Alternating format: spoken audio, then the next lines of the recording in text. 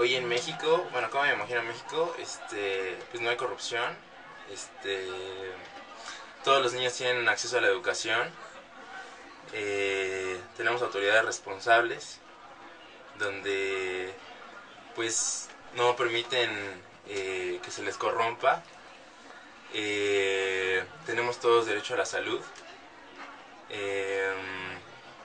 podemos ver que México está avanzando en cuanto a un país desarrollado.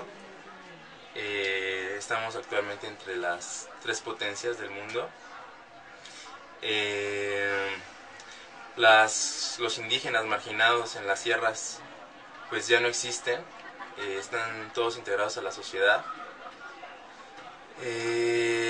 nuestra legislación mexicana es buena, no hay ningún error en ella. Este.